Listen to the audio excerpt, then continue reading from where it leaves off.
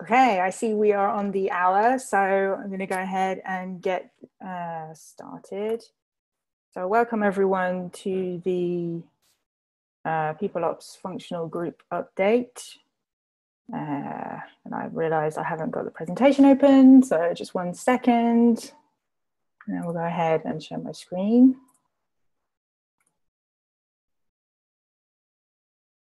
Okay, um, hopefully everybody can see this. I'm going to press the present button, so my screen is going to get really, really big. Um, but if you have any questions, please go ahead and post them in the chat. And one of my glamorous colleagues in the People Ops team will be very happy to answer them as we go. If not, there'll be time uh, at the end uh, for questions. So here we go. Um, so wanted to start off by introducing ourselves. Um, there's going to be multiple speakers, not just me. Um, we're all of us are going to um, tell you a little bit about what we do, um, and I'll start uh, first of all. So I'm Abby, and I'm the People Ops generalist.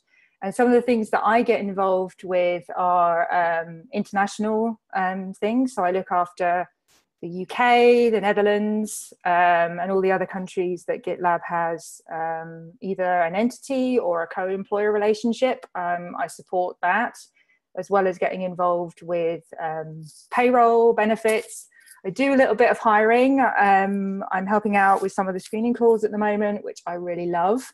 Um, also, I've kicked off the management workshops um, that we've just started to run, and the next one is tomorrow. So I'm really looking forward to doing that. Um, and my title, the clue, is in the name, generalist. I do get involved in pretty much everything um, to do with people and I really enjoy it and uh, also supporting the rest of the People Ops team as well. And Chloe, you're up next.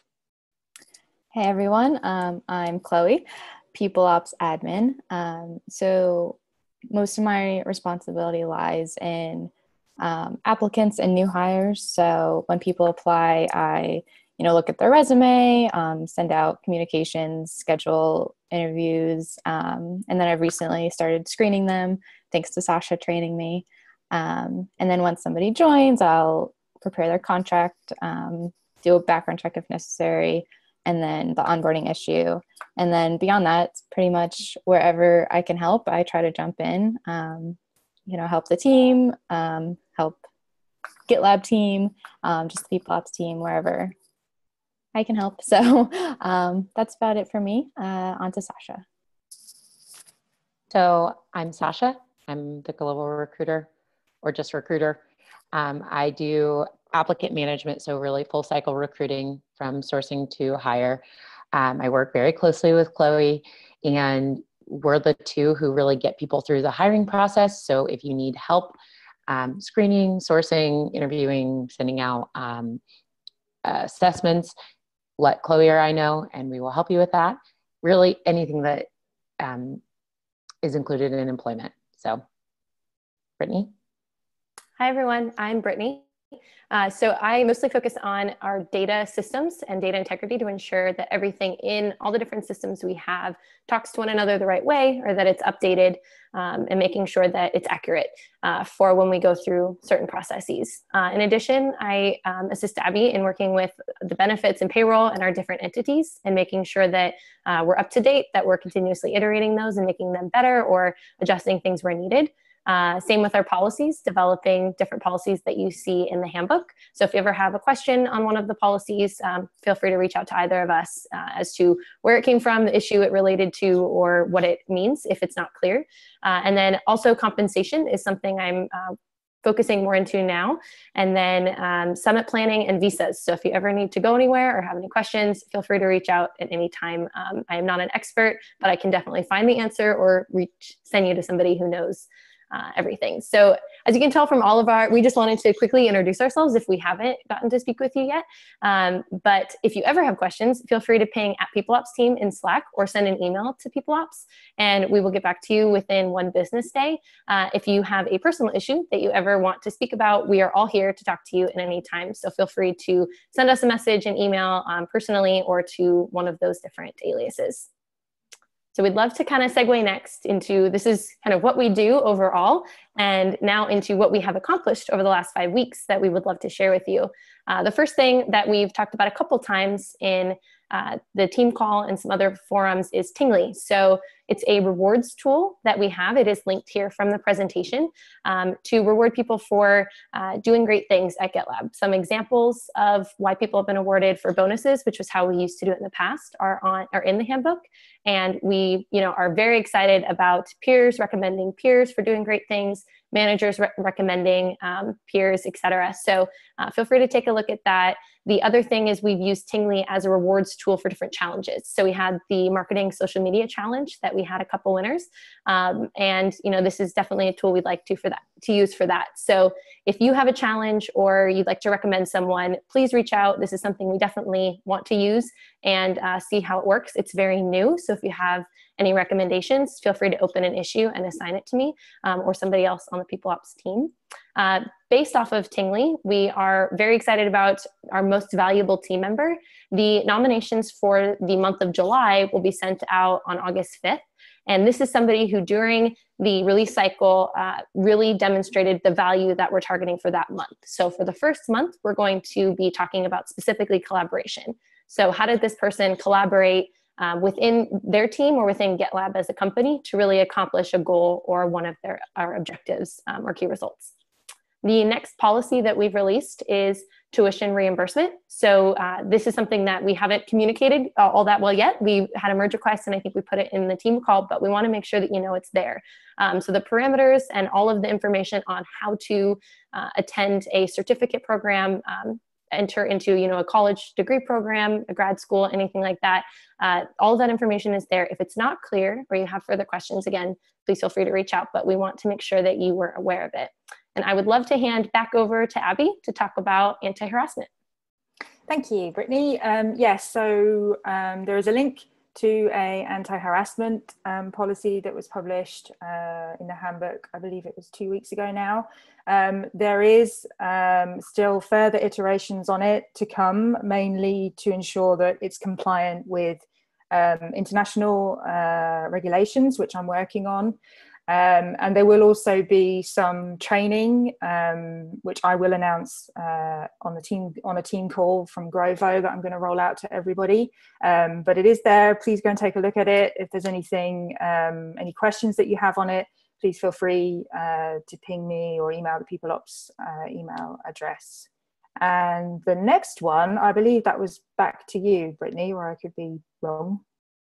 Yeah, sure. So we yeah. want to continuously talk about and uh, let you know that we have a new policy on immigration to the Netherlands. So we want to incorporate this, um, you know, to all of our let all of our team members know, and also incorporate this into hiring as kind of an employee brand item. Is that after two years of working at GitLab, uh, you can immigrate to the Netherlands. We are going to kind of outline this further in detail uh, about you know what the costs are associated. But um, for now, this is kind of our first iteration, and you'll see more to come. But we wanted again to just point out its existence in the handbook and direct you there.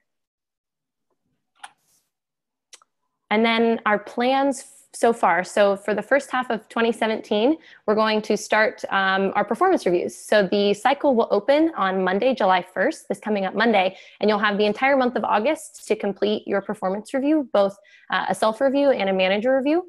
We wanted to get this out as soon as possible uh, to reflect on the first half of 2017 as you know we heard your feedback from the last performance review cycle we also opened the deadline um, a lot farther to you know let you know that there are uh, there's about a month to complete it instead of a couple weeks. If you need more time, feel free to reach out to us. This isn't directly attached to anything. So, you know, the, the merit review cycle that we had attached to performance in 2016 will not actually happen until 2018 once the full year is completed. But we still want to make sure that the performance reviews are submitted in time. If that's not possible, though, we want to work with you on that. Uh, also, we've revamped our questions to be more related to our values. So there's now uh, five, six questions about each of our values, and then two questions about leadership and development, uh, what you want to do next, all of these different things. So um, please take a look at that. The other thing we did was we heard that the, and, and we received your feedback that the five point rating scale did not feel intuitive. So we reached out to some contacts, uh, found some different documentation on alternatives, and we decided to go with a four point scale instead. Uh, we do not want to talk about it still in, in, quantitative terms. So we have below expectations, meets expectations, uh, exceeded expectations, and greatly exceeded expectations. So those are how we will refer to them, um, but it has changed from five options to four. Uh, the next thing that we have worked on is our global compensation calculator. So I am still working on this now. It is coming this week. My first deliverable is to have um, the first iteration uh, of expanding geo areas done by July 31st and moved into the calculator. If you have any questions, please check out the issue that's attached in here. Uh, you'll also see what our plans are for the next iterations to follow until we, um, you know, we will always be iterating uh, as is per our GitLab workflow, but this is just the next couple steps we see until we receive market data and can really do some data analysis there. Uh, and then one of our next plans is our team call updates. So, uh, you know, we've had a couple changes. We moved from having weekly updates to bi-weekly updates, and now, uh, you know, that can kind of feel a little disconnected. We don't want that to be the case. We want it to be uh, very interactive and, and, for team members to want to join the team call. So uh, we're working through different options there. Please check out the issue as well. And then Sasha and Abby and I have been working on our parental leave policy. Uh, there is a associated merge request in with the issue. There's also uh, different statutory requirements that we have in each entity. So when you're reading the statutory requirements, uh, there was a little bit of confusion there when I posted my comment. I want to make sure that everyone knows that isn't what GitLab will offer, that's just what we must do. So in some places, the statutory requirement might be lower, in some places, it might be higher. So we want to make sure that we are legally um, doing what is uh, required of us in each place that we have an entity. But the policy itself has not officially been merged, but look out for that as it comes. And then Abby is working on our anti-harassment third iteration and training. And then I'll hand over to Chloe to talk about some of the next items that employment's been working on. Thanks. Um, so there is an issue for the wellness program that we're working on. Um, we're trying to figure out exactly what it will entail um, and how much we can really provide. Um, but I think either way, it's going to be really exciting. I'm really happy to be working on it. Um, so if you have any feedback, feel free to put it in the issue. Um, we're also looking to expand the People Ops team. So we're looking for recruiters and a VP. Um, the job descriptions are linked there. So if you have any recommendations, please let us know. And then finally, we're always working to improve onboarding. Um, some examples I've included here is we are adding uh, inclusion training um, for all new team members. Um, we've recently implemented a automated coffee chat bot in Slack called Donut, um, and we've done that for a few weeks now, and it seems to be going really well. Um, and the plan is to have it for the whole company. Um, we're just trying to testing it out right now. Um, we're also just trying to make the onboarding issue uh, in general easier to digest and complete um, since it's you know meant to be completed within a week or two um, and that isn't really happening very frequently. So we want it to be less overwhelming and easier to do. Um, and then finally we would like to make it easier for new team members who aren't programmers and don't know how to code to learn how to code to be able to, to adopt git better and easier faster things like that. Um, and then i will pass it on to Sasha. Okay, so everyone's probably heard me talk about Lever. We're getting a new applicant tracking system. Many of you probably haven't used Workable yet, which is our current applicant tracking system. Um, it leaves something to be desired. So we are moving to Lever and we're very excited about this move. Um, and most people on the team will have an account. So you'll be able to um, see all of the new features of Lever, and everyone should be able to log in and um, submit referrals through Lever. So that is something that's coming soon. There will be a Lever training for people who um, will be doing screening calls and interviews. There will be first a training for the admins, and then followed by a training for everyone else on the team. Um, so please keep your eye open for those. Some things to look for with the Lever implementation is that Um, we're going to be standardizing the interview questions. So you'll have forms pre-made for um, whichever interview stage you're at um, because we want to make sure we're reducing bias within the interview and evaluating all candidates fairly. There will be more permission levels uh, for better protection of candidate data. Right now, Workable um, only allows us to protect so much data, um, and, and it really leaves a lot of holes in security. Hiring managers, you'll like that in Lever, you receive fewer notifications and you only follow the um, vacancies that you're actually working on. There will be automatic uh, follow up reminders for hiring managers. So if you forget to move a candidate to the next stage, Lever automatically pings you maybe every single day on Slack to say, hey, you need to follow up. Um, and then there's a Slack integration. So that those are all some things to look forward to in the new ATS. But like I said, it's coming soon, the training. So I just wanted to give you all a if you've been looking um, and working in Workable, now you'll see the difference here in Slack. Here's the interview stages that are laid out, and each um, person will have their own screen uh, that looks like this with all of their active candidates. It will be a much cleaner um, and more streamlined interface. So this is just a quick preview of Lever. I also wanted to talk about some updates to interviewing and hiring. So, obviously, I have become a bottleneck in screening. So, to reduce that bottleneck, we will start training more GitLabbers to do screening calls.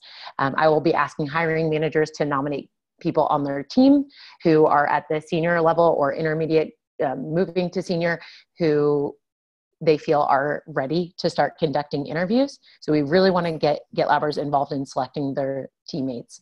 Um, Chloe has started hosting the, the questionnaire guides on GitLab.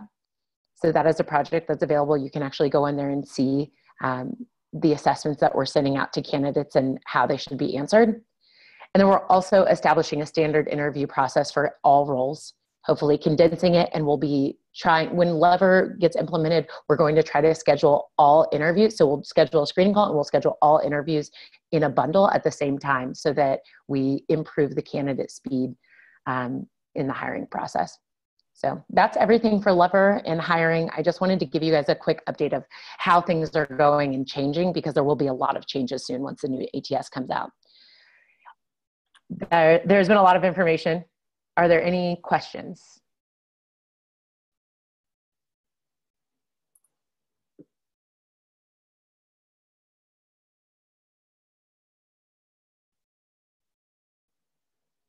If there are no outstanding questions, it looks like a lot of the questions have been addressed in chat. But if there are no additional questions, we can go ahead and end the meeting. Thank you all so much for joining the functional group update.